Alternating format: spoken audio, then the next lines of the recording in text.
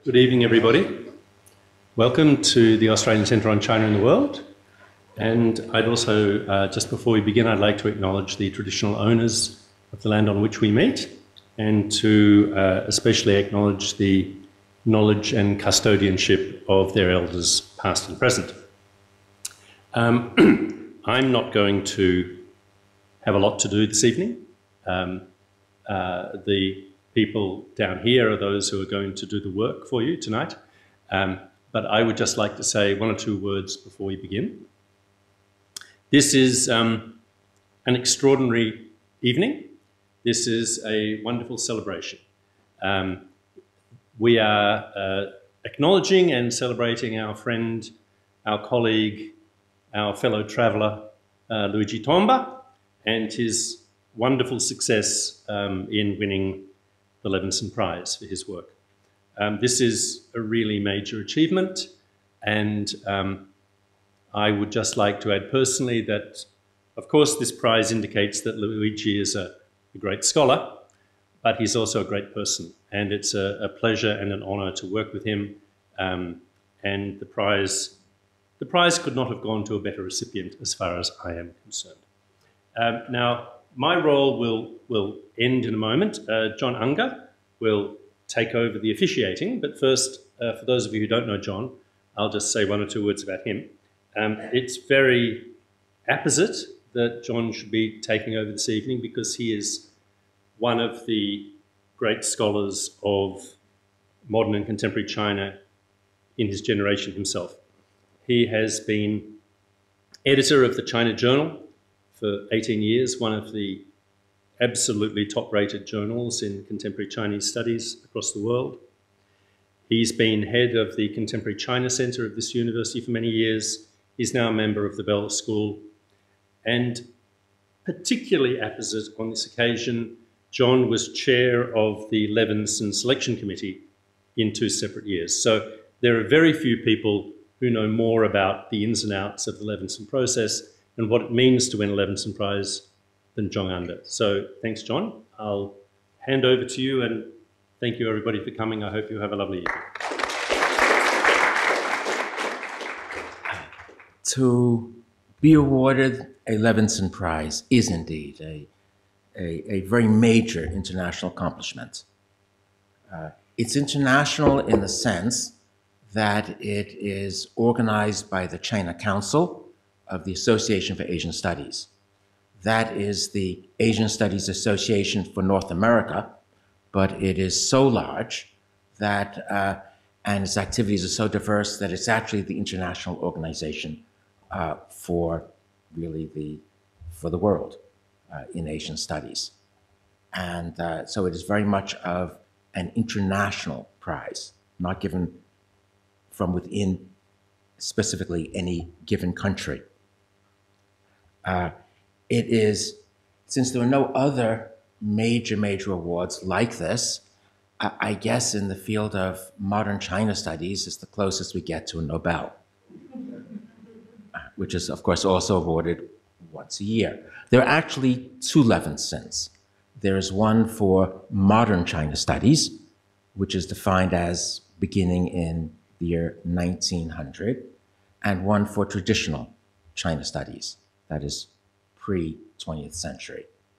And uh, uh, it is uh, named after Joseph uh, Levenson, who was an eminent uh, historian of China, who, uh, whose life was cut off in late middle age in, in a boating accident. and the modern China Levenson Award covers a very wide array of books. It includes the last period of the Qing dynasty. It includes historical works on Republican China, literature going all the way back for more than a century, uh, books in, in every form of, of every social science discipline, uh, every humanities discipline, uh, all types of books on contemporary China, books on Taiwan, books on Hong Kong. It's a wide field that he won within. and it is a surprisingly large field. Uh, believe it or not, several hundred books are published every year in this, this area of, of modern China studies. And of course, a committee cannot look at several hundred books.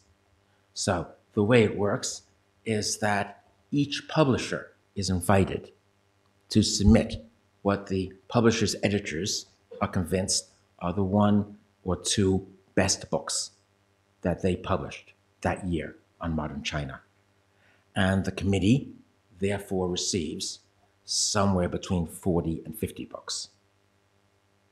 And they have been pre selected for their excellence, and for the most part, they are very good.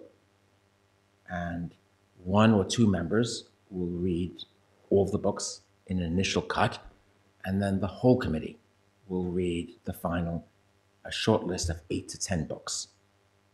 And those eight to 10 books, I think anyone who has served on that committee knows, are just surprisingly good. I mean, each time you just don't expect there to be that many books in a year that are that good. And there's lots of emailing back and forth, and then a short, short list. This goes on for months until there's a consensus. In the two years that I served on it, it was unanimous that one book is simply plainly supreme. And that was Luigi's, among, among a whole number of excellent books. I mean, it, it is, you know, having served on the committee, I recognize it's, it's more of a prize than you think it is. And uh, I, of course, I've, I've now, I've read the book. In fact, I've read it twice when it first came out and within the last two weeks. And I very much believe that it, it really deserved it. It deserved this prize. Uh, it's based on a vast amount of, of astute research over, over a decade. And more than that, I think more than, than most books, it is analytical and, and highly conceptual. And it does something which I think is relatively rare. I think a, a, a, whole number of books try to be analytical and, and try to bring in theory from, from various aspects of social science, but it usually doesn't work. And I think in Luigi's case, it does. He, he brings it in where it's apt, and he does it in very plain, understandable English, and he weighs the extent to which it is, it is appropriate and helps to illuminate it, what he's, what he's discussing. And it makes for a, an intellectual and, and a very enjoyable read. Uh, and I, I'm sure that the, the other members who are sitting up here uh, would agree with me on this. Uh, I, I, won't go into the contents. I'm, I'm supposed to be speaking briefly to start us off, and, and others will be going into some of this. Uh, but I'd just like to point out that one of its strongest points is that it's not on a single topic, as it were, although it, it focuses on the neighborhood, but rather it uses that as a vehicle to explore a number of the most debated and most important topics in contemporary China. It provides an entirely new angle on state society relations in China, one that I have not seen before. And that is something that I, I write on. Uh, and, and also a whole new way of seeing how China is governed at the grassroots. It explores the rise of new classes in China. And China is one of those very few places where we really can see, within a period of just a few decades, the rise of, of classes, of new classes. And it does that very cogently. It examines the rise in China of a new type of city planning and the implications and the results of that. A, a, a reshaping, an, an incredible reshaping of the, the physical and the social landscape of urban China, and of the rise of class based neighborhoods and communities where there had not been before.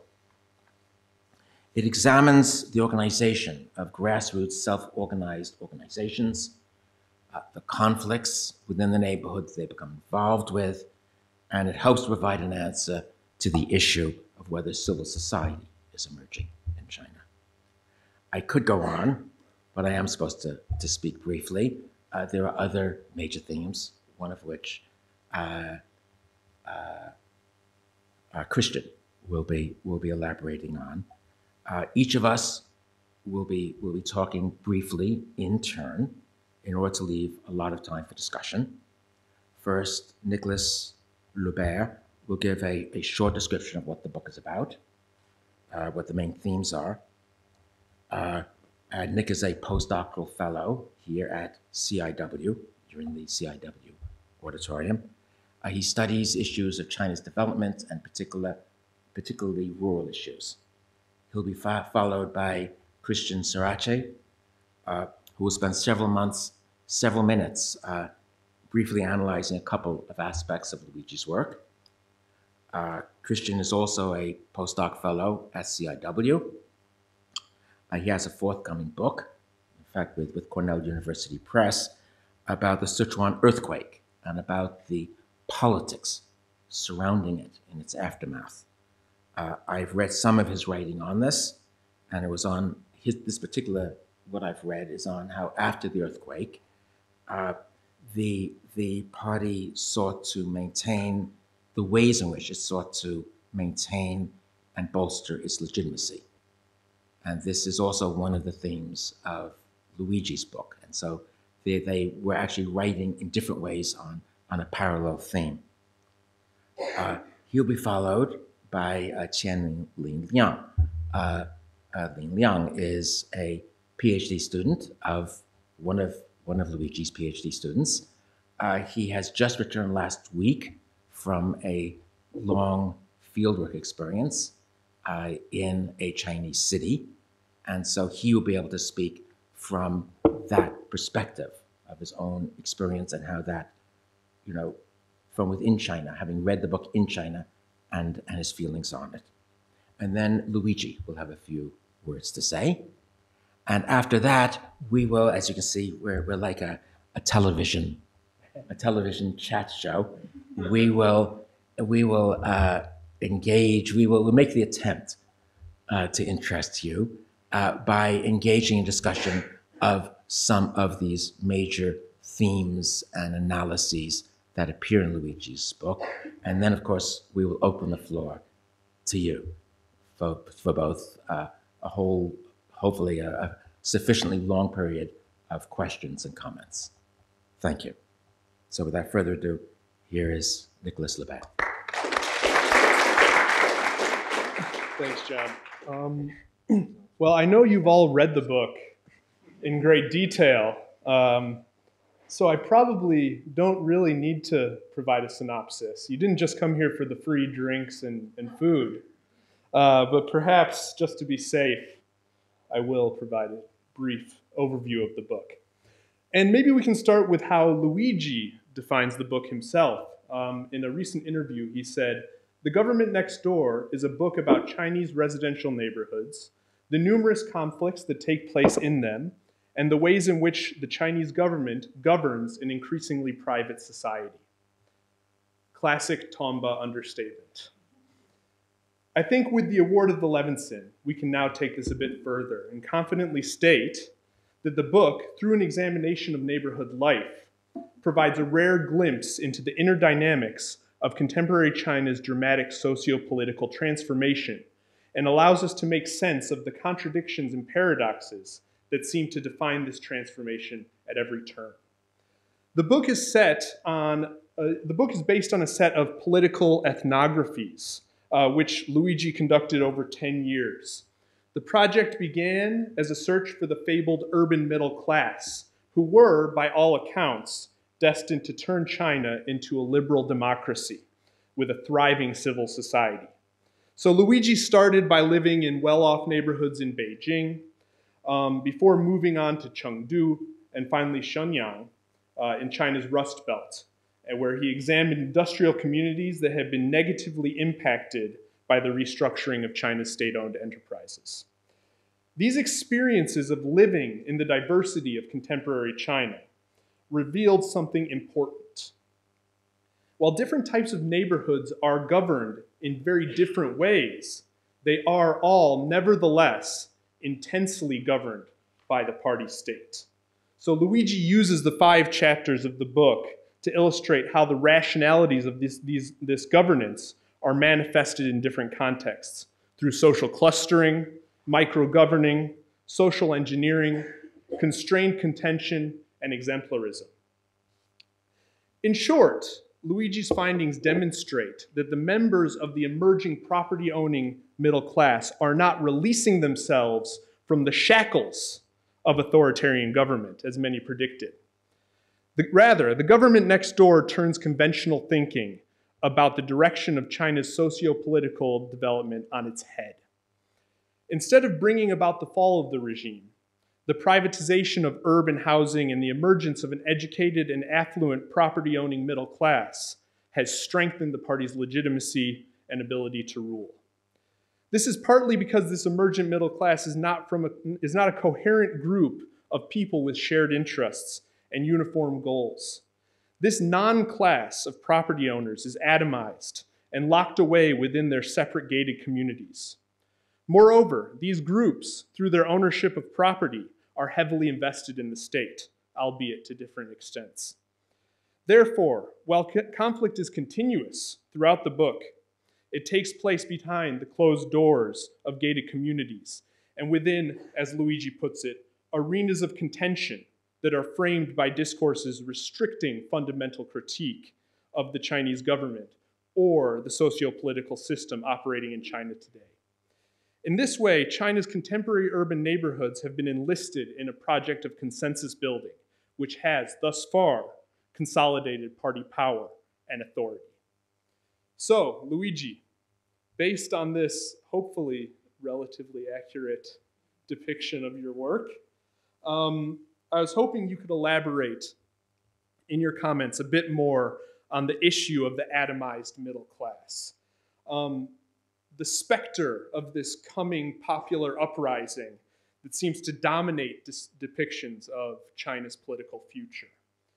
Um, I'm not asking you to become some sort of pseudo fortune teller, um, the likes of which are quite common in the field of Chinese studies.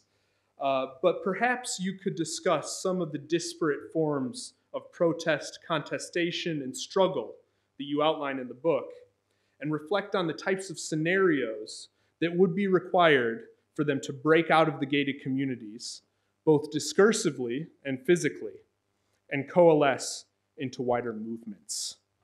So, with that, I will pass it on to Lin Liang.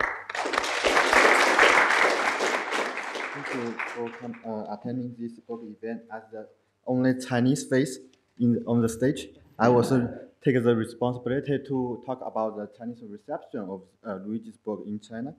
And uh, uh, I was doing my fieldwork uh, in, uh, for my PhD project in China when I heard Luigi receive the prize, and I shared the news with my friends on WeChat.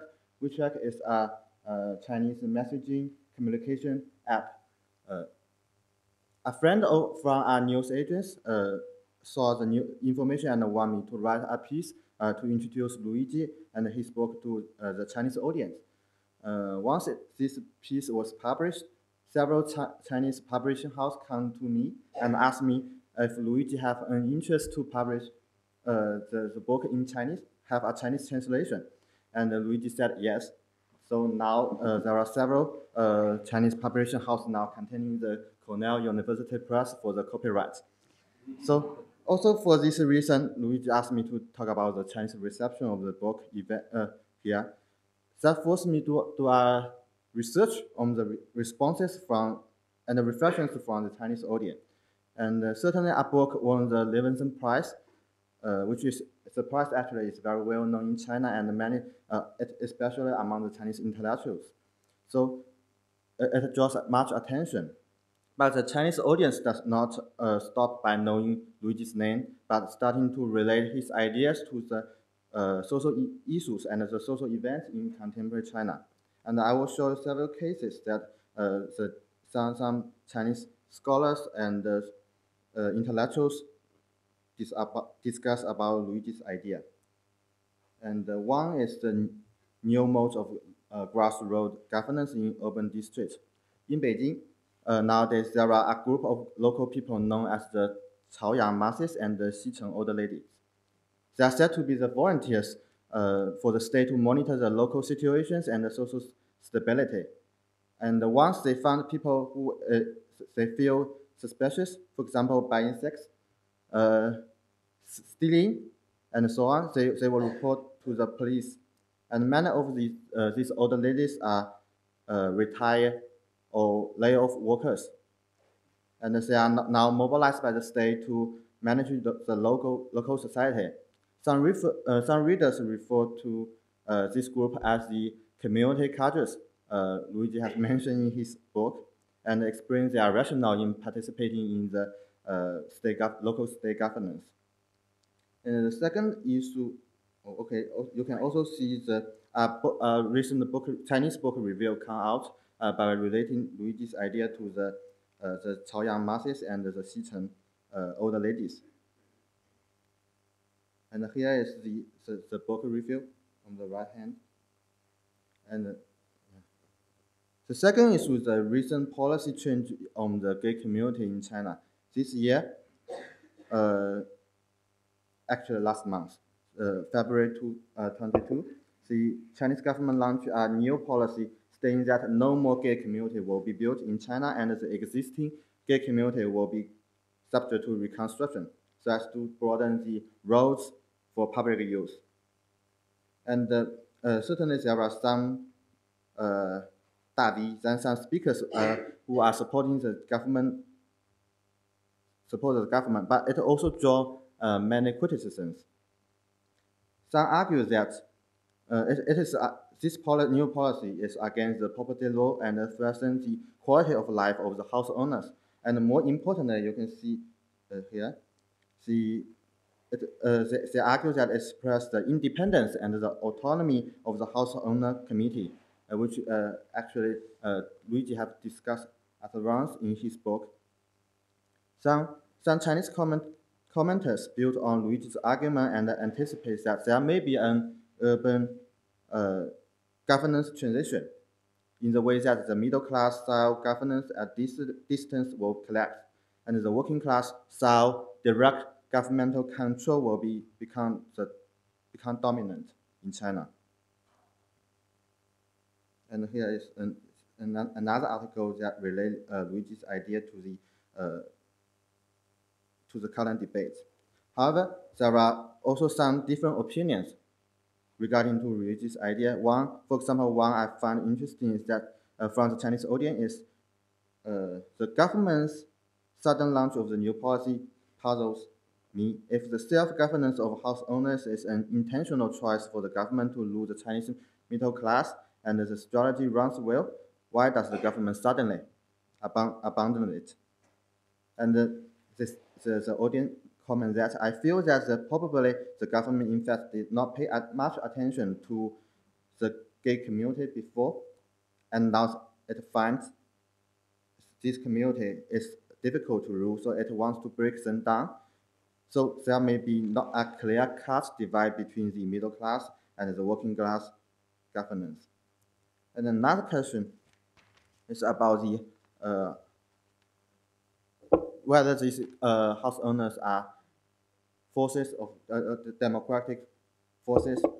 They, they ask, uh, house owners are said to be politically conscious, and they are in line with the government discourse, and the defense of the self-interest are usually constrained within the gay communities. So they, they are not viewed as the democratic force as taken in Western societies but the new national policy want to sweep out all the gay communities, and they're actually seriously uh, violent the old house owners' rights. So can we expect those undemocratic people to cooperate and step out the gates and become the democrat become democratic in the light of the new policy? And lastly, uh, apart from the above debates, by, discuss, by discussing the Chinese recipient uh, re, uh, reception, I shall return to the media exposure on Luigi and his book uh, as a prize winner. You can see on the online website, and you can also read uh, they can also be read on the Chinese mobile phone app. Uh, on the left, this uh, is one of the most popular online media in China, and in the middle, the sinologist research is, uh, is popular among uh, domestic Chinese scholars.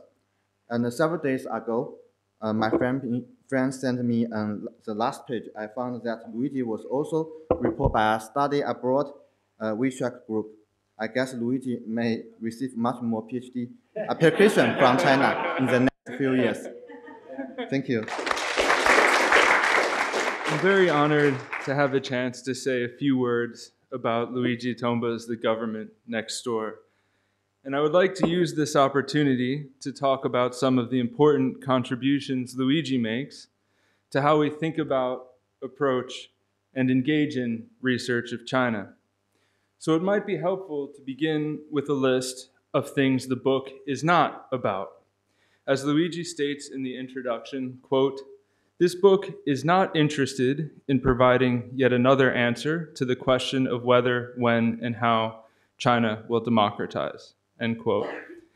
This book is not telling a story in which economic reform gives rise to a middle class whose material and spiritual aspirations naturally, spontaneously, if you will, translate into the demands for civil society and more political freedoms however those freedoms are construed.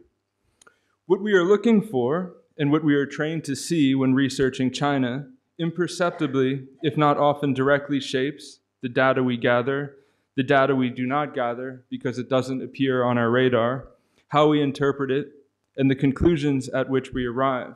Therefore, I want to emphasize how thankful I am and how thankful we should be that Luigi does not ask these questions and instead sets about looking into the nooks and crannies of urban space at local governing practices, rationalities, and discourses. Since I only have a few minutes, I will limit myself to one example, as John mentioned, an example that I work on my, a topic that I work on myself, of how the book contributes to redefining some of the core concepts in the study of Chinese politics and that concept I would like to talk about today is uh, legitimacy. So, here too, Luigi does not approach legitimacy as an abstract question of political regime type, or from the assumption that people in China inwardly ask themselves, is my political system legitimate? I mean, to be frank, how many people even think in those terms outside of abstract academic exercises and formulations? Instead, Luigi approaches political legitimacy as something that is produced and ongoing in people's everyday practices, habits of living, and ways of speaking about their lives. So, one of the important mechanisms analyzed in Luigi's book is how people's personal desires, how their aspirations and their expectations, and even their frustrations, even their complaints, can internalize and elaborate the official party state discourse and reproduce its power. So, this is not a story of coercive state power indoctrinating people at gunpoint, but one in which state policies and state discourses frame how people make sense of their lives, which also contours how they encounter and perceive the state. So, again, to quote from Luigi, for the practices of government to become legitimate, the values that justify them need to be broadly accepted. End quote. So in this book, Luigi expertly shows how the Communist Party discourses of social stability is inter- discourse of social stability is interwoven with middle class desires for safety and enclosure, and then materialized in the gated community as the preferred site of urban living.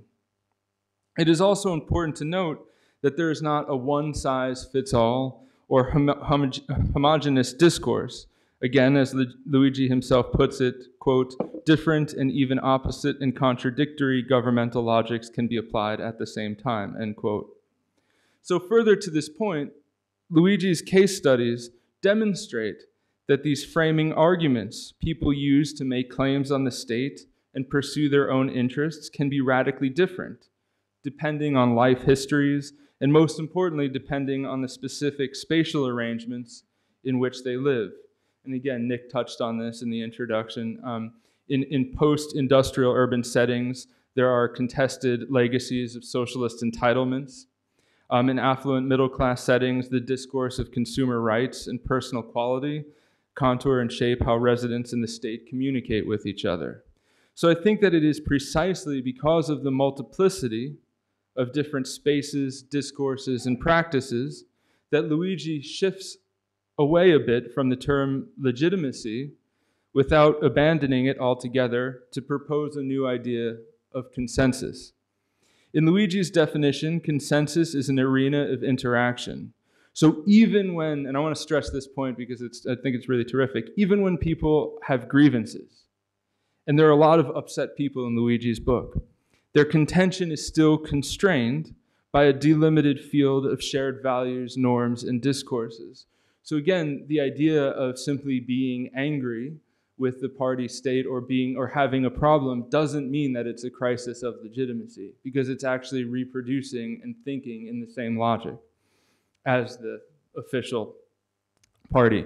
So as such, consensus doesn't mean people necessarily support or approve the Communist Party, but or that all is harmonious under heaven, but that people are at least arguing about the same things rather than, say, demanding um, a systematic reform.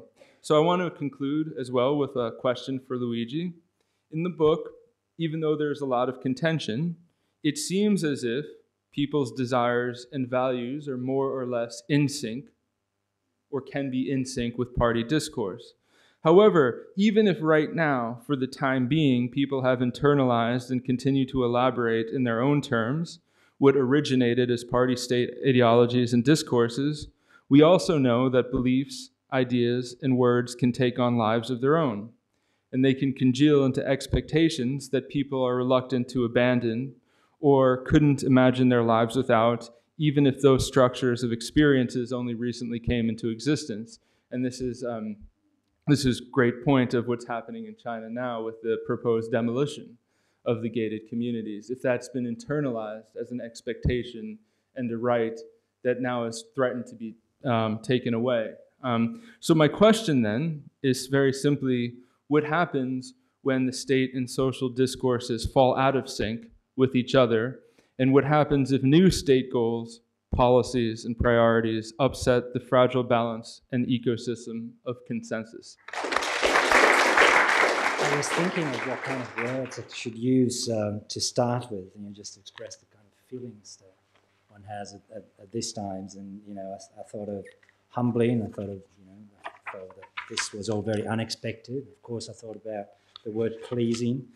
I thought about being grateful, and I think you know, I'm grateful in particular uh, to the ANU and, and CIW for supporting me, but also, I'm, but the, the one word that I came up with was that I'm very glad that I'm actually able to share this moment with uh, some of the uh, closest colleagues and friends who have been uh, working with me over the last uh, 10, 15 years. So that is, that is the main feeling that I have. And it's, it's a difficult feeling. It's, a, it's, it's, um, it's difficult to be proud, possibly because I still have my Catholic mom on my shoulder here that tells me that you know being proud is not a good thing.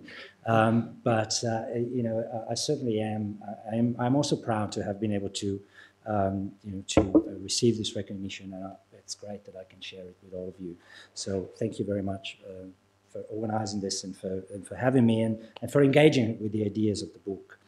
Um, um, as Lin Liang mentioned, there is interest in China, which is very good news for me because uh, one of the things that disappointed me the most was that the if you try to buy the book through Amazon, which is the uh, normal um, provider that people even in China go, you will not be able to buy the English book in China. So it's very difficult to get access to the book in China. So if, the, if a Chinese version of it comes, comes through um, and uh, um, it, it, it, looks likely, uh, then at least you know a, much, a much larger, much more global audience of people who are actually the participants in the stories uh, that are in this book will have access to, to the topics. And, and clearly, the fact that there is an interest also tells me that I have probably touched one of the really um, um, really difficult point in Chinese society. Not just I look at it in terms of what it means to be governed in these communities, but many people look at it as a very important part of their existence. You know, uh, real estate property is something that is very central to,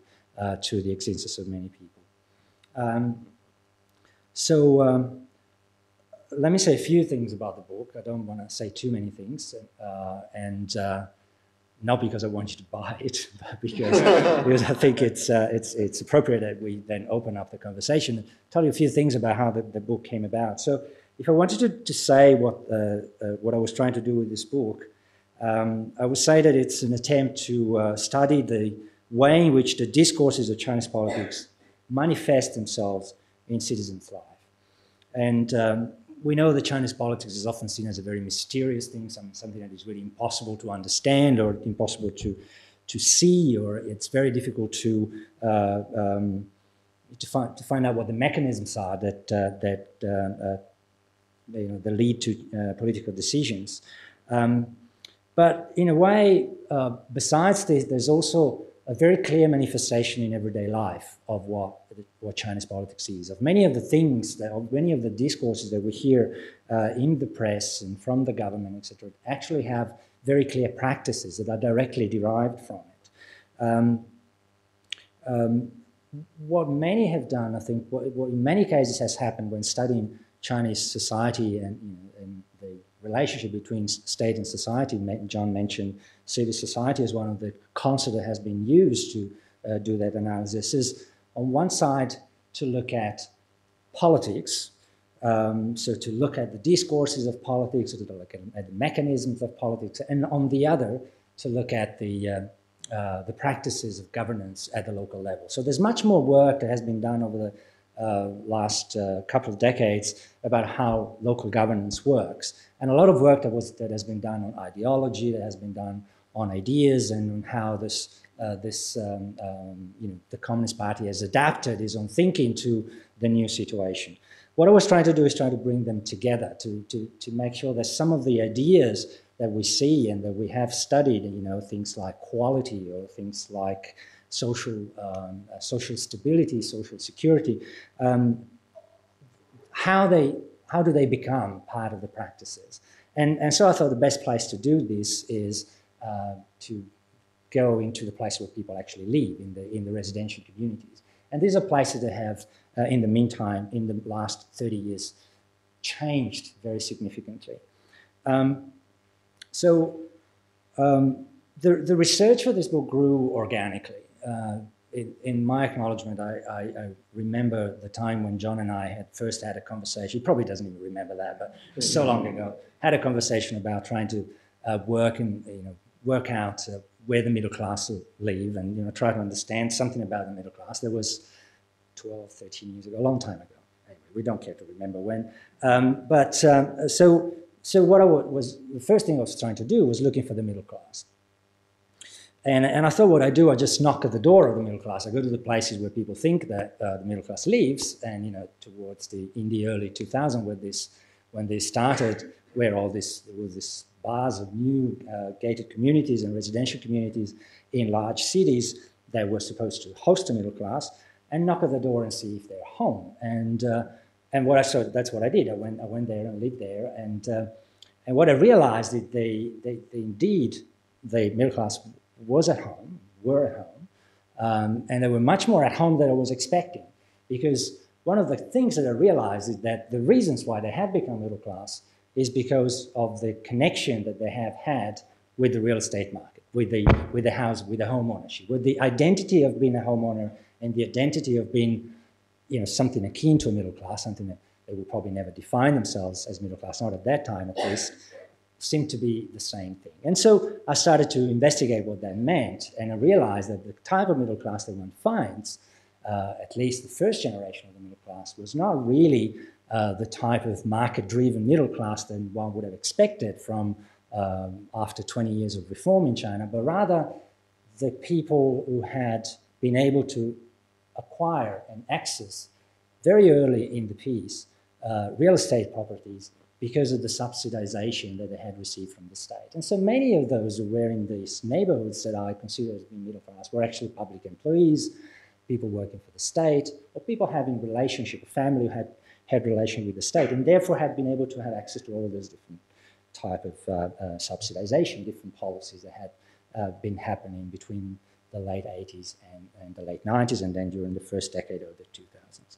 Um, so there was something there that appeared to me as, uh, um, as, as an important part of what, as, as an interesting point to pursue.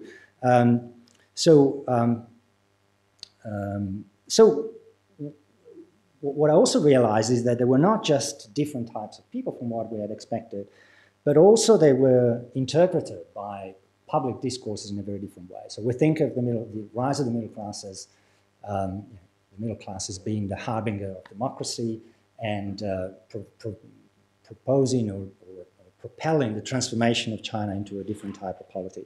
And the way that the Chinese government and, some, and a lot of the Chinese academics interpret this is exactly the opposite.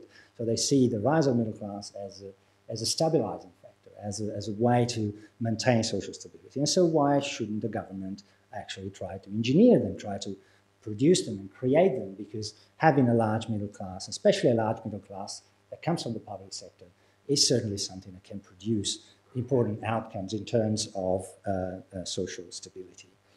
The other thing that I noticed is that these people had a lot of conflicts. They were absolutely not quiet. I mean, there was a lot of uh, conflicts going on, and still today, if you go into Chinese neighborhoods, it's very likely that almost every community has at least one grievance. You know, they protested against their developer, they protest against the uh, property managers, they protest against uh, local governments sometimes. But what they do is that they also use the same language that the government provides them with.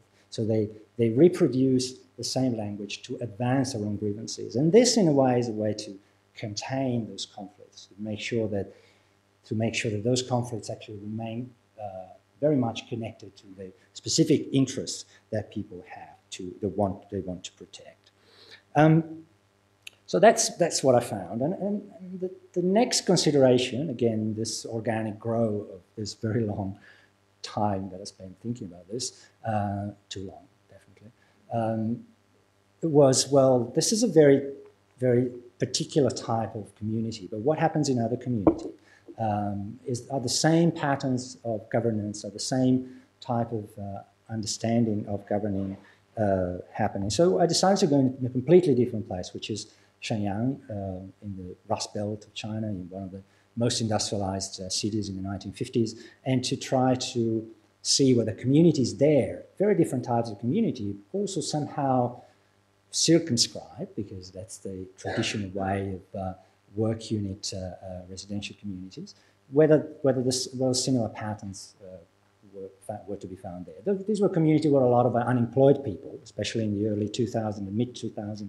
you find a lot of unemployed people from the old state-owned enterprises. And so they're very different people from the middle class in Beijing and they have very different grievances. They have very different demands for, for the gov- to, to the government and from the government. Um, however, again, what I found is that when they wanted to advance their grievances, they were trying to replicate exactly the same language that the government was using with them. And the language that the government was using with them was different from that of the middle class, of course. It was, was about saving the middle class, it was about um, um, providing them with um, a parachute it was, was about uh, uh, the, the, the, role that this uh, uh, working class, sorry, I used the wrong word here, wrong class. Um, so the, saving the working class and providing a parachute for the working class and um, making sure that the working class is protected through this period of very uh, dramatic transition. Um, so again, what I found was some sort of connection between what the government says and what people use as a language for them to advance their own, their own very local uh, grievances. Um, so in the end, what I found is that neighborhoods allowed us to look at the interaction uh, in a very specific way. They allow us to, uh, um, to almost embody the idea of this arena of contention that I, um, um Nicholas and Christian have mentioned, the idea of arenas of contention as the places where state and society interact. In my understanding, I prefer, I prefer the question of, you know, the, the idea of an arena of contention to that of traditional civil society one-to-one -one type of relationship, because it allows for many different types of relationship happening at the same time. So the state can say certain things to one class, uh, say certain other things to another class, allow certain things to one class, for example, allow a certain level of autonomy for the um, um, for middle class communities, but very little autonomy for unemployed workers who may actually become very dangerous. So there's a, a different type of government, of governing practices that allow certain groups in society that are more reliable, considered more reliable, uh, to be governed in a certain way, uh, whereas others who are not as reliable or are considered as socially troublesome, if you want, need to be governed in a different way. So what happens here is that there is a series of discursive arenas, if you want, where what the government does is set in different boundaries. It sets the boundaries of what the relationship is going to be, what, going, what is going to happen through those, uh, through those interactions, what's happening in those interactions. And this is, this is the main thing that I try to do in the, uh, in, in, in the book. And, you know, sometimes it is, it is uh, um, um, I think sometimes it works. I think it must have worked at a certain point, and and but, but I guess what I want also want to say is that you know just because I need to make a plug for the book, there are a few copies, that's it, um, is that there's there are lots of stories. So this is narrated through uh, as, as, many stories as I can imagine, and and many of these stories are surprising. They are the stories of different people and their interactions with their with their um, you know, the, their lives, but also their interaction with their government and the ways in which this happens, and, and in fact works to cumulatively create an increase in legitimacy for the system rather than a decrease in legitimacy. So this is all I'm going to say about the book. I'm happy to you know, take any more questions about this. Um, but I, if I may just uh, address some of the issues that were raised. Um, so uh, Mr. Nicholas, Nicholas, you, you uh, suggest this uh, to, you know, well, to elaborate a little bit more about the idea of the, of the middle non-class as they would call it. You know it's um, defining the middle class is always one of those uh, difficult experiences. One of the first things every time I, I, have, um, I, give a talk on the middle class, the first question I received, yes, but how big is the middle class? Or how do you how do you measure the size of the middle class? And this is something I'm completely uninterested in. I have no interest in knowing the size of the middle class because I don't sell anything. So, you know, if you want, if you were someone who wants to sell cars, then you need to know how many how many middle class people are earning enough money to make to, to buy cars. But in my case, what I'm interested in is the process of transition that people have. How do people get from being uh, poorer to be richer, and how how does that happen? Because that is what reveals uh, the way in which uh, society changes. But um, um, so what I, what I say in the book is uh, is um, that what, what the people I'm talking, I'm talking about are what I call the first generation of the middle class. There's a sort of a, clearly there is a second and a third generation coming up who have very different characteristics, and we can get into that in, in a moment. Uh, but certainly what, one notices is that besides this uh, large uh, group of people that comes from the public sector, in fact, there is a great fragmentation in, in the group that we call the middle class because they may come from, from many different backgrounds. They may, you know, wealth can come from many different places, but also it can, uh, it can be justified in different ways. And uh, so even within these gated communities, you find sometimes heterogeneity that is sometimes divided into groups. So to give you one example, there was one, there's one, one example in, in the book where um, within the same gated communities, there was a, a, group coming from the public service and a group coming from the, from say, market activities or private enterprises, and they were clashing with one another. I mean, the, the main uh, grievances was, you know, for the for the, um, um, the, private employees, they were saying that those people only got property because uh, they were attached to the government because the government paid for them, and the and the public employees were saying, well, those private people just don't have the quality to be here. They don't have the suzhi, you know, they have money, and who knows how they make their money? Maybe they were corrupt.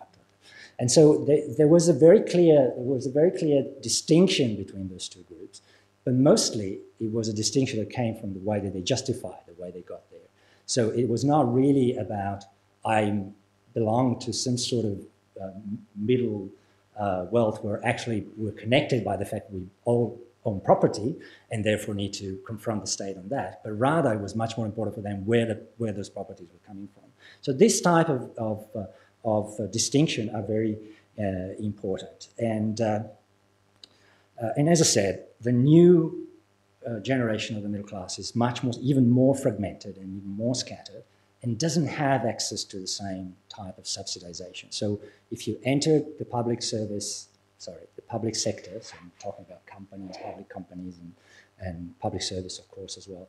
After 1998, you're not entitled to receive uh, uh, a, a lodgement from your company as you would have been if you had entered before 1998. So 1998 is a watershed, and everyone who entered the system after that is in a much worse position today to buy houses. The other reason why they're in a much worse position is because all of all that has happened has actually um, all the subsidization has made sure that so many people had houses and so many people bought apartments, so many more people bought apartments than a market would have allowed. That today the prices are highly inflated, and as we know, in the uh, the Beijing is the um, most unaffordable place house in the whole world, not just in China. The, the top five uh, cities are all in China. So clearly, that what was an advantage for that generation is becoming a disadvantage for gener this generation.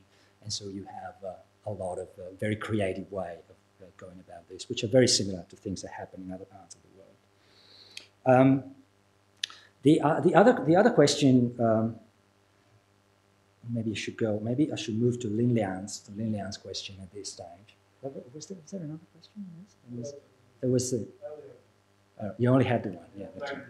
Um, the, uh, the, the, the, things that Lin says are very interesting. In a way, I was very surprised by the fact that people knew about the Levenson Prize in, in such a way. I mean, I could have imagined them to know who Levenson was, uh, but you know, knowing that uh, people know about the Levenson Prize is, is, is a good thing.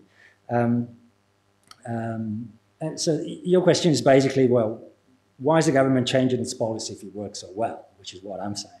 Uh, so what I'm saying is that this is uh, that there is a there is a special aspect to the to uh, to governing, and that having communities and having those communities as isolated uh, little um, um,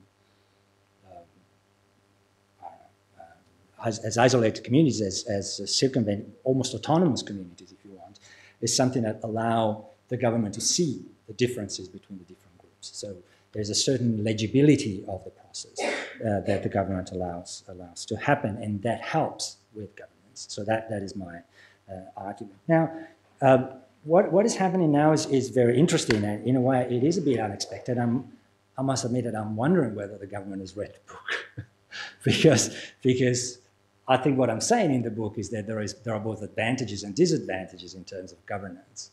And, uh, and gated communities do make it harder for the government to control certain groups, so the middle class groups who have been given a certain level of autonomy, of self-governing, etc. So uh, the one example that is in the book is, uh, is about the one-child policy, where at a certain point, uh, if you live in a private community, there will be your management company will be the one in charge of uh, implementing the one-child policy. And so it's much easier to get around the, the private management uh, person persons who are in charge of this in the management company than it is to go around the, the offices of the, of the, um, um, the official um, uh, government uh, offices. So what happened is that there was a lot of complaints that the more money you have and the more you manage to live in these gated places, the easier it is for you to just escape the regulations of the one-child policy. Now, those things may be changing, but this is just to give you an example that uh, the government has been concerned about the incapacity to actually enter these places and perform activities of government.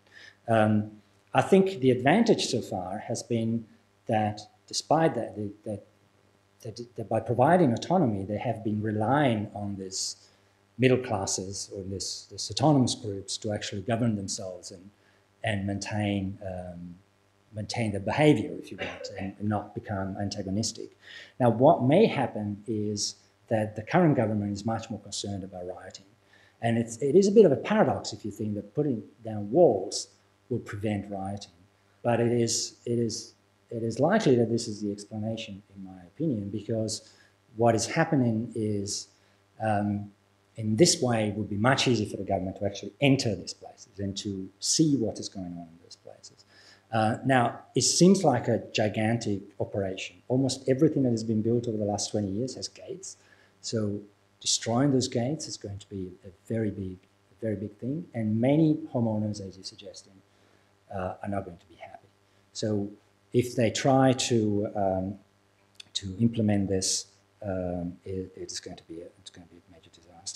Or maybe not, maybe not a major disaster, but it, it could it could certainly lead to further and even more conflicts. Um, the uh, um, the other thing that may be something that the government knows that we don't. So the government may know that the real estate bubble is going to burst. And if that's going to happen, then the amount of activity that is going to take place in this, the amount of adversarial activity that is going to take place in these communities is going to be very. And so having those gates closed is, uh, uh, is, not, is not a good idea. So opening up the gates will allow the government to control this type of activities. Um, and this, this takes me uh, to, to something that Christian uh, was saying about, you know, the out of sync, you know, how, you know, what happens, what happens if they got out of sync. And, um, and, and clearly there is a risk for that. I mean, there is a risk that one very large crisis, and my example is always the example of the, um, um, of the real estate bubble. Uh, one large crisis could affect a very large number of people, all involved in the same in the same industry, if you want, or all with interest in in housing, uh, and that this could lead to very significant uh, um, a very significant amount of contestation. Um, now, I think. Um, I th what I think what I wanted to say, want to say is that there is uh, there is this possibility but there are, there are two aspects. One is the, the aspect of the capacity to adapt that the government has had in many, on many occasions. So there have been crises before, and, and those crises have never really taken, they probably have never been the size of a potential nationwide uh, housing bubble, uh, but they, they have never taken um, too long for the government to adapt the things that they wanted to do. And in this respect, I want to go back to the idea of consensus that I'm trying to uh, deal with uh, advance in this book, which is the beautiful thing about what I call consensus. It is not static at all. Uh, so it's not, uh, it can change and adapt if you want. And um, the legitimacy of the leaders is not staked on a specific behavior, but rather on a, on a more general understanding that what they do is good for the country. So that, that, is, that is the one thing that everyone uh, sort of attend to when they think when they think in this consensual way. And so consensus is not really about something. It's not that we agree on something. We, there's, there's a consensus. The consensus is simply the capacity that the state has to set the boundaries for a discussion where in the end the government is always going to have the, the last word. So there is this capacity to, to create the discourses inside which people will be allowed to advance their own grievances at the local level while at the same time the government will maintain the capacity to control the extent to which these contestations are going to happen.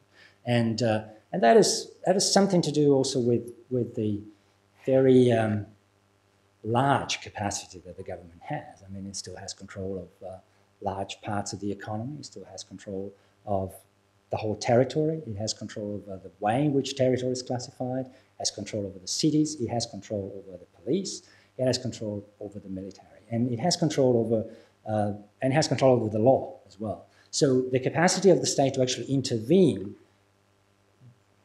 is, is still very significant, and it's and it is uh, um, it's in, in, no way it is it is uh, reduced by the idea of consensus, and the fact that consensus is a flexible thing that can be applied in different ways in different places and in different eras um, and different times allow the government to recreate those boundaries and to make those boundaries new at a time of a crisis. So uh, I tend to be generally uh, pessimistic. I don't know whether pessimistic is the right word, but pessimistic about any type of uh, structural uh, systemic change happening in China anytime soon.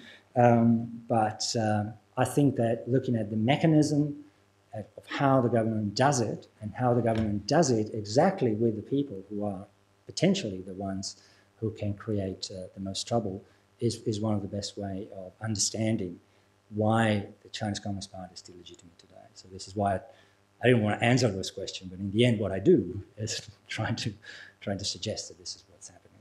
Um, I'll stop here, and uh, so that we have a bit of time for conversation. And uh, thank you again.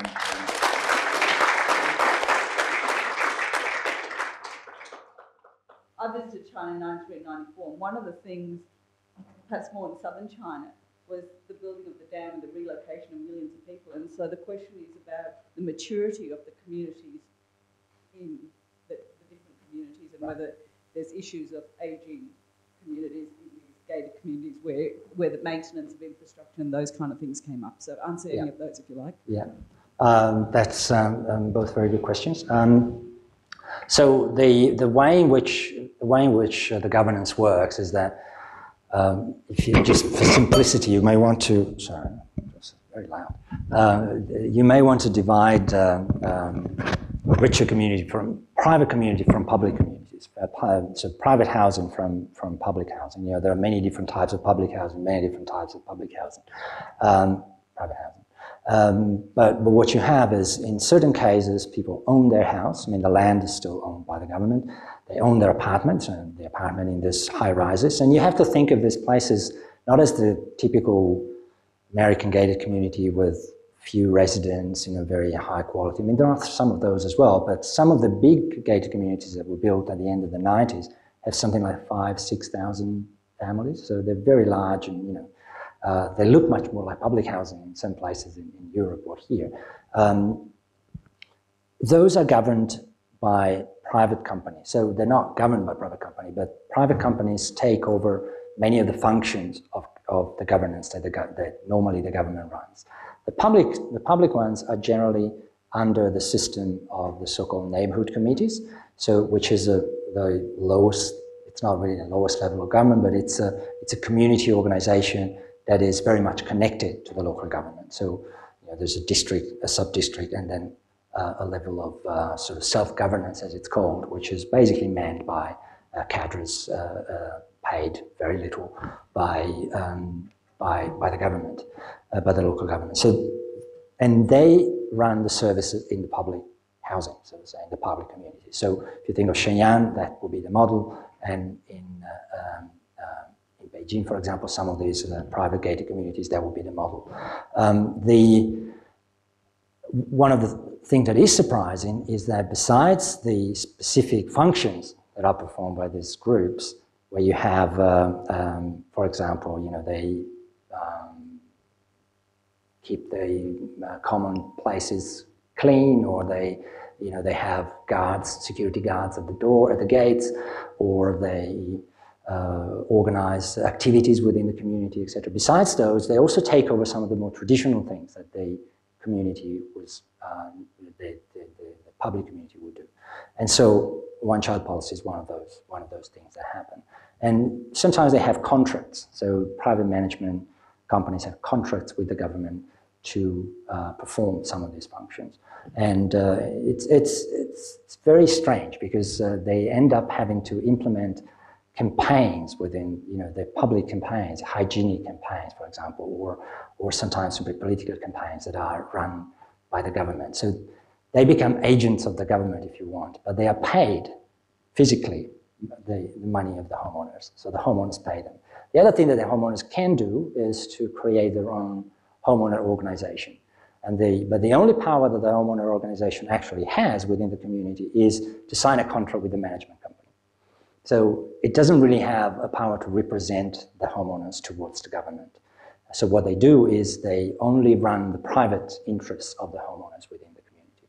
But even so, the amount of conflicts that happen there is, is, is just gigantic. I mean, there's I mean, there are thousands of conflicts. Almost every community around the country in every city is, uh, is uh, under this kind, has this type of grievances.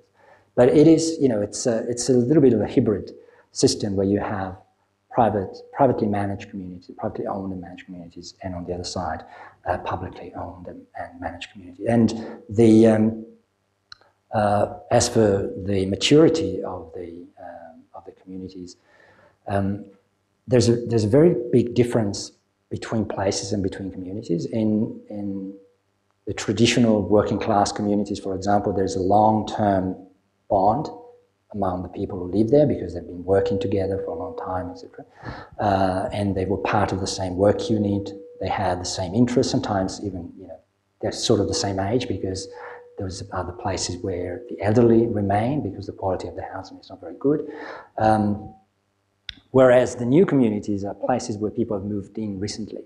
So you have to think that there was no private property of housing in China until the early 90s. And uh, so you start, and you start seeing you know, the first large communities in Beijing were built around 96, 97. So that, that, is, that is when the real estate market, the real real estate market has, has begun. And you have, and since the end of the 80s or the beginning of the 90s, between the beginning of the 90s when there was almost zero private home ownership, until the mid 2000s when there were over 80% of uh, uh, home ownership among the people who are resident in the city, not migrants.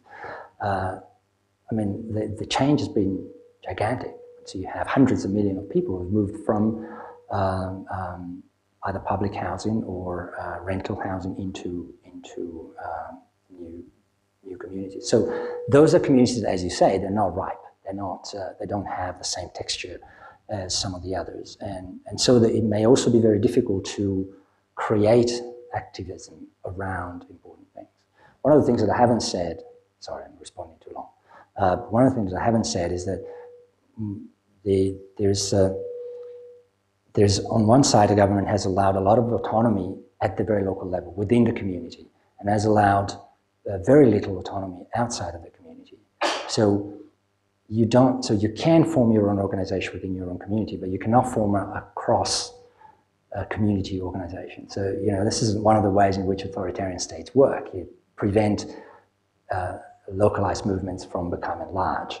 And, uh, and this has always been one of the, one of the main, main tools. And so, you know, you have these cases that I've seen where uh, they have, homeowners have been protesting within their community and the police has not intervened. They haven't really cared about them. They've been doing that for days. And then at a certain point, they decide to you know, march out of the community and suddenly the police comes and just uh, bashed them, basically. Um, so again, there's there's a certain level, the space is important, uh, and what can happen in that space is important. So if they destroy the, uh, the idea of the gated communities, that may well result in a completely different way of governing.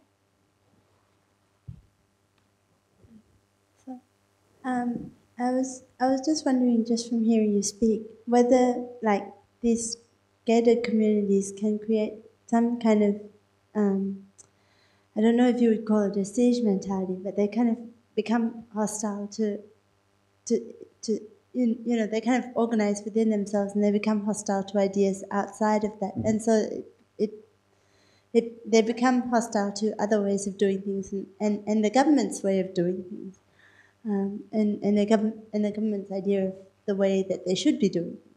Yeah. Um, well, they certainly do. I mean, one of the things I guess one of the things about consensus, um, and you know, I like my colleagues here also to chime if they want, um, is um, that you, it's not it's not about liking the government. It's not about uh, liking what the government does. Uh, a lot of people hate the government. Uh, they just you know they don't they don't identify themselves, so they don't see themselves as being supportive of the government. But what they end up doing is then using the same type of rhetoric and reproducing the power of the government because that is the way that things happen.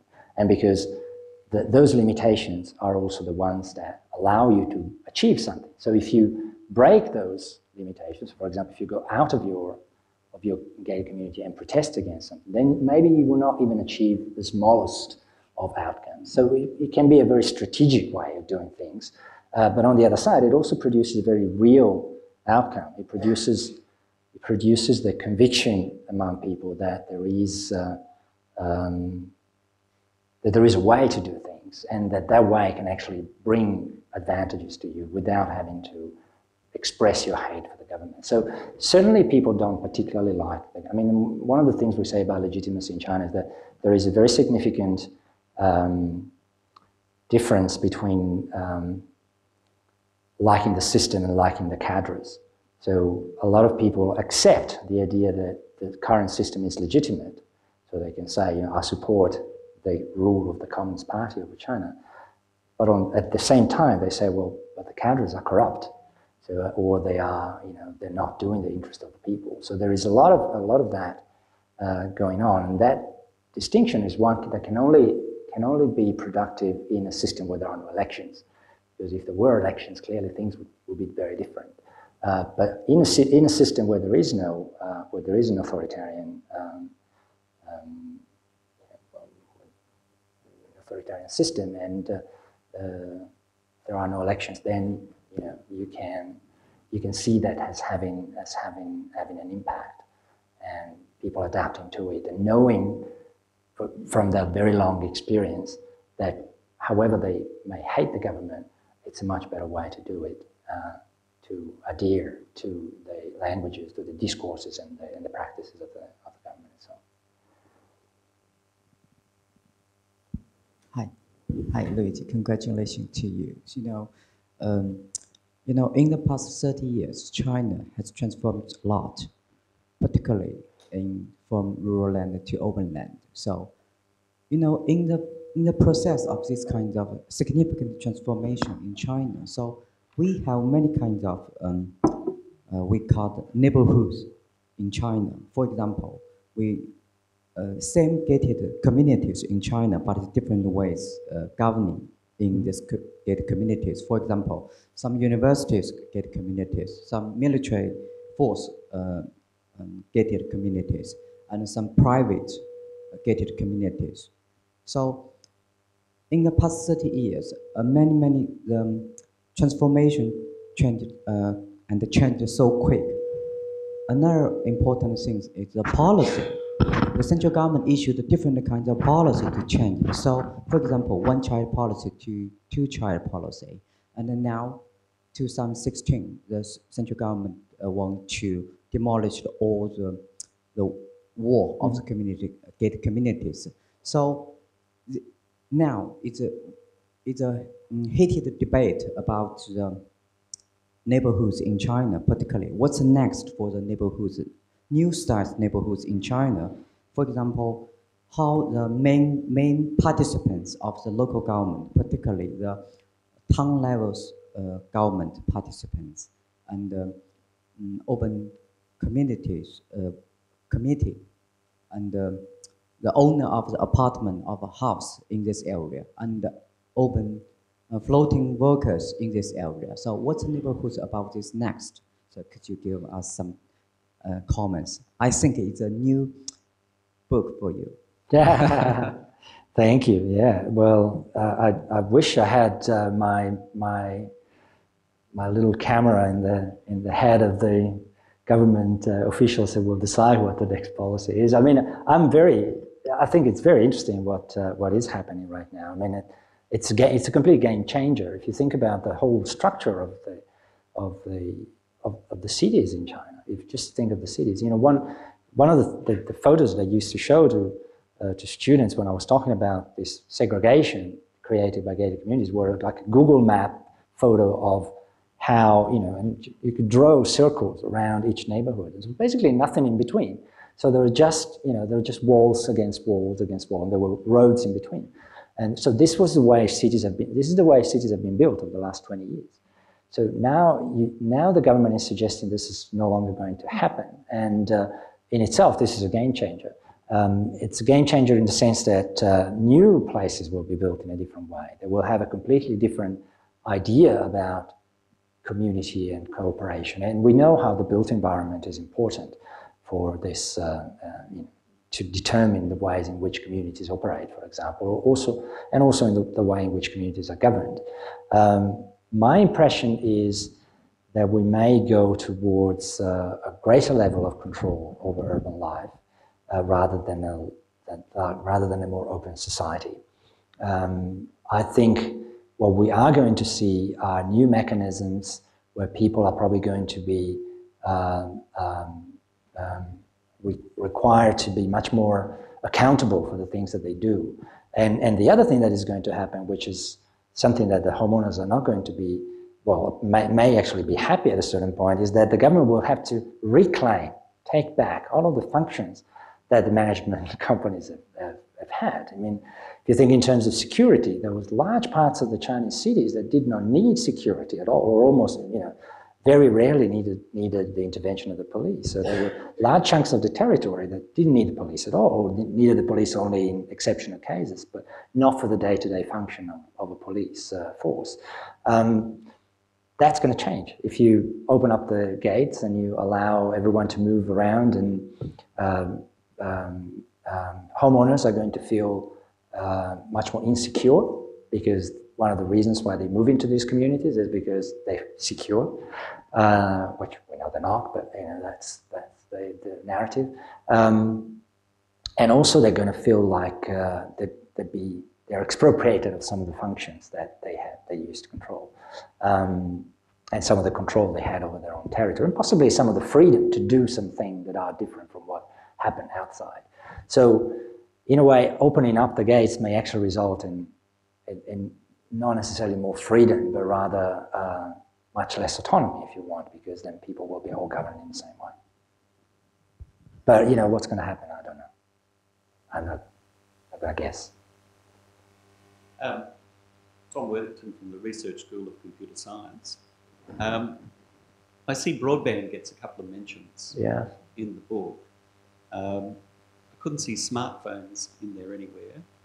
Can you see the consumer citizen having a device where they could report potholes and broken windows and things, having an effect on how these things happen, in some ways providing a sort of a consumer version of mm. democracy, but still allowing a, a level of control. Uh, I, well, I think I think um, maybe hard to deny that the Chinese are probably the greatest, the largest market for smartphones in the world. I mean, they also produce most of them, I think. You know, and uh, and certainly there is, uh, you know, it's it's not uncommon to see people going around with two or three smartphones at the same time. Um, and, uh, and and as you say, I mean, the, these communities have started using broadband very early. Um, you have to consider that uh, the internet arrived in China in 1995, and it was just on a Unix system. Uh, it became ubiquitous uh, maybe beginning of the 2000s. But then since then, the, it exploded, and there is there's no way that anyone will be able to sell an apartment in Beijing without broadband. Um, and and what has happened, it has also it has also created sort of its own little community. So you had the forum, you know, the, the online forum where people would participate and uh, mention their grievances, and and somehow again very segregated. So you would have your the forum of your community, and then the next community will have a different forum, etc.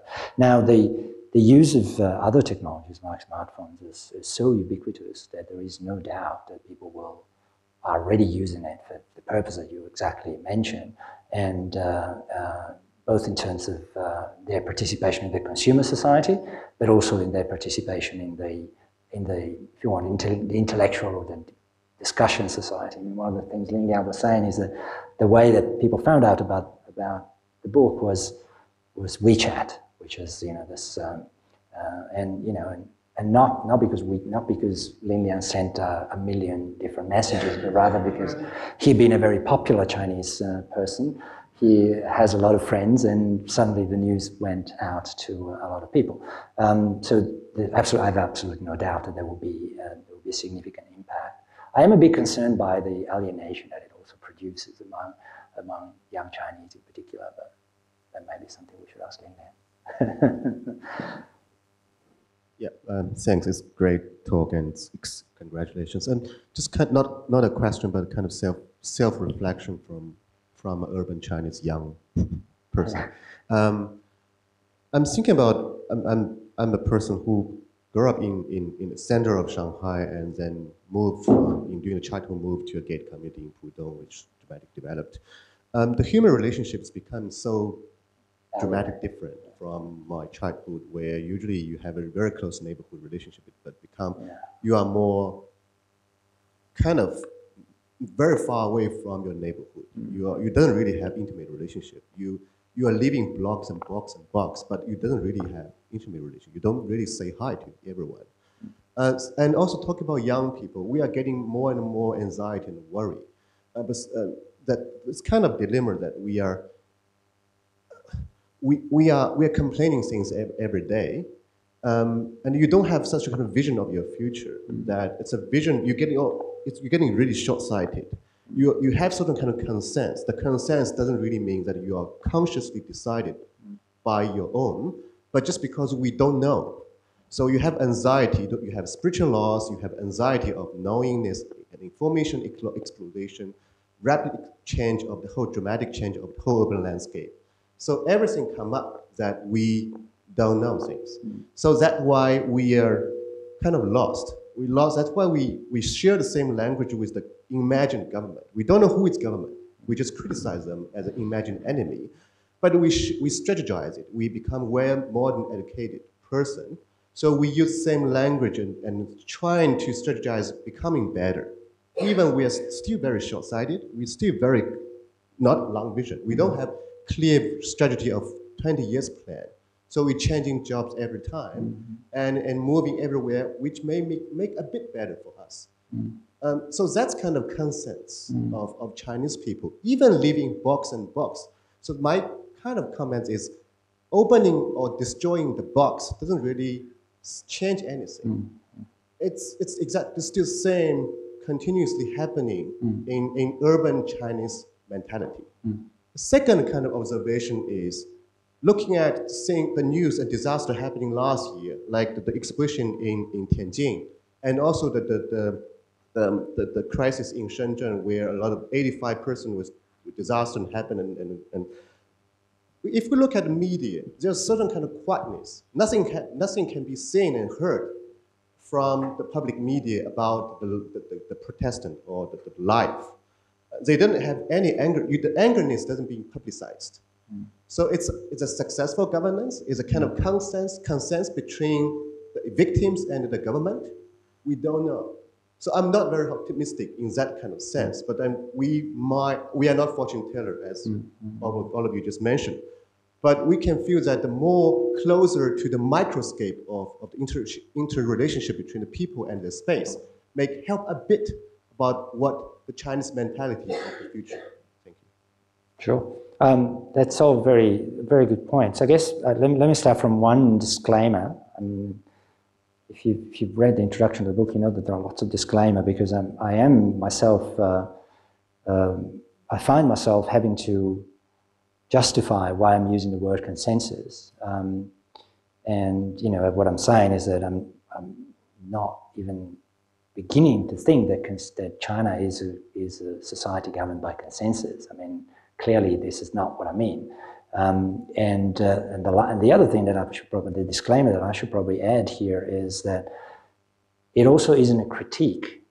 I'm not criticizing uh, the Chinese citizens for being, in, for being involved in this. There's, it happens as a construction. It is simply a modality in which the government operates, in which this, this uh, co- cooperation, if you want, in this, this, this uh, um, relationship between state and society is defined and, and produced. So um, uh, clearly, I am very aware. I mean, you know, having been in, in China for a very long time doing this research, it's, uh, I'm very aware of, of all the anxieties that are attached to this. And in fact, one of the, one of the things that you, you find with homeowners is, is you know, the reason why there are so many conflicts that people are so anxious because first of all, a lot of their savings have gone into buying apartments. And so anything that could even remotely reduce the value of your apartment is something that is threatening to the whole livelihood of your family. And you know how buying a house is important for a number of other things in, in China. I mean, if you don't buy a house, you don't get married. I mean, it's not, not necessarily the, uh, it's not always like that, but you know, it's, it certainly is one of those, one of the things that creates anxiety. So uh, families invest in, in apartments for their, for their children, etc. And now they are over committed to that. So uh, that is that is one aspect. You know, there's there's a lot of anxiety. in, in everything that happens. And there are lots of anxiety related to the things you say. Uh, the, the fact that people are really not in the know. I mean, despite the fact that there is a much greater circulation of information today than there used to be, so you're more likely to know many more details about Tianjin today than you were likely to know anything that happened in Tangshan in 1976, uh, you know, just to make an extreme case. But um, the, the, despite this, there is clearly still um, very significant levels of, there are still very significant levels of uncertainty about what, what happens. And, um, and, and, and especially people don't really know what the, what the attitude of the government. As you say, it's an imagined government. It's a, it's a faraway government. And this is also demonstrated by the fact that you have, um, a, that, for example, in all public opinion surveys, you find that central government receives a certain amount of support and local government receives a much lower amount of support. And those type of indication tells you that people, the only thing that people know and they can complain about are the governments that they actually have relationships with, not the central government. Central government is a bit of a, a bit of a divinity somewhere and, and people relate to it as, as something that can sometimes even support their own grievances. So they refer to the, you know, the ideas of the central government. Um, and so yeah, no, I, I, think I think the you know anxiety is one of the things that happen, and wealth has not reduced it. As you as you know, becoming wealthy is not enough to uh, rise in the social ladder. You also need to be able to behave in a certain way. And people have studied this, and uh, there are uh, there are very um, very good reasons for this to be the case. You know, just just be wealthy is not enough. As as I told you in this relationship between the public employees and the and the private employees, you know, they're both relatively wealthy, but one's had the status and the other don't. Um, so that, that's another level of anxiety that is added, which also comes from this demand to continuously improve one, one own in Chinese urban society. So also to respond to what you were saying, particularly with thinking about post-disaster um, discourse and how information is managed, so I know this because I've been rewriting and rewriting the introduction to my book, which is precisely on this. So sorry that I'm plugging my own book in now. I don't want to. I don't want to co-opt your event here. Um, but but the idea that the disaster, that the Sichuan earthquake in 2008 was a tianzai, was a natural disaster versus a renhuo, or a man-made catastrophe. Um, a lot of internal party publications and documents. Um, so that they were very conscious of maintaining um, that it was a natural disaster at all costs. Right? And so, in other words, for those of you who aren't familiar, after the 2008 earthquake happened, um, a lot of school buildings collapsed. Over 5,000 children died in the collapsed school buildings. And then the question is, why did these particular buildings collapse when buildings next door, government edifices, did not collapse? And this has raised the question of shoddy construction material, or what they call the uh, tofu dreg construction, right? So this counter discourse that starts to circulate or percolate or challenge the official state's representation of as a natural disaster. And think about it, if it's a natural disaster, then the Communist Party is the hero. If it's a man-made catastrophe, then the Communist Party and the developers are the villains right? So to, to cut off that, and again, I think Luigi brought up a good point. It's not just discourse.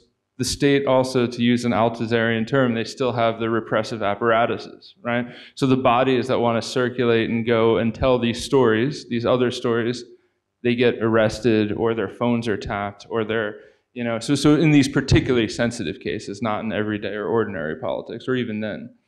But so the way of, and actually just to get to the point I want to make, when I meet people who visited the earthquake zone from Beijing or from Shanghai or people traveling through Sichuan, almost 90% of the people I talk to, or when they find out that, oh, you were, researched the earthquake, didn't the party do a fantastic job? It works, you know?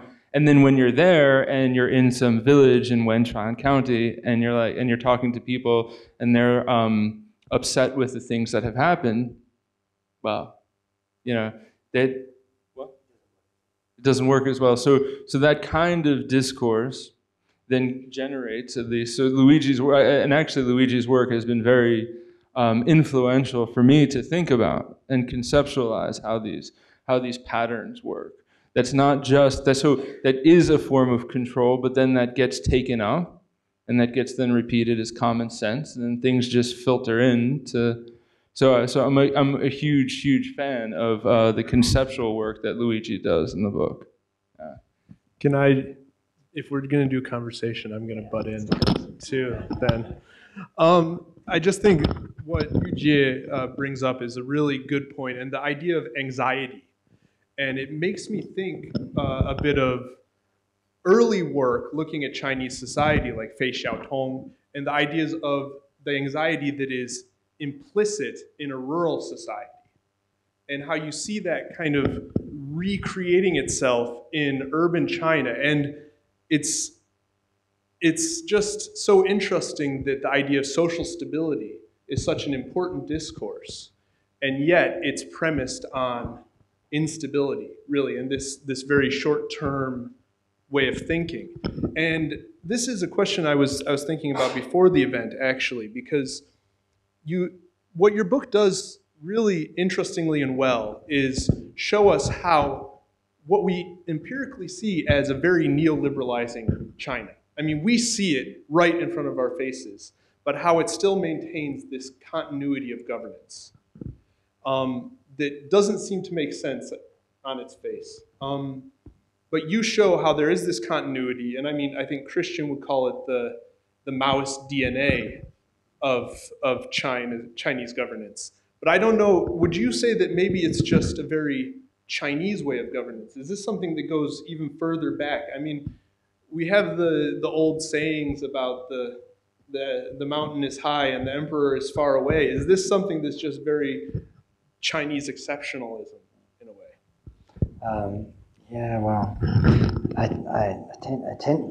as you know, I tend to be very wary of uh, exceptionalism, and, and, also to be to be wary of um, us uh, putting too much emphasis on you know labels like Maoist or you know like like when we say that Xi Jinping is Maoist, and there's problems there, uh, or when we say that uh, China's Confucian, you know that, things are inspired by that, mostly because they, especially in the in the mainstream discourse, you find you find that being associated with the fact, well, the Chinese then can never be democratic, right? Because uh, they, they don't really, you know, they're Confucian, they're Maoist, uh, they, you know, they, so, and, and this is, this is simply not, simply not leading anywhere. I think it's just one of those ways in which uh, uh, it's easy to bash China and say, you know, they never, and, and it's also one of the discourses that the government uses, right? So people don't really want democracy here. Why do you want impose democracy on them, you know?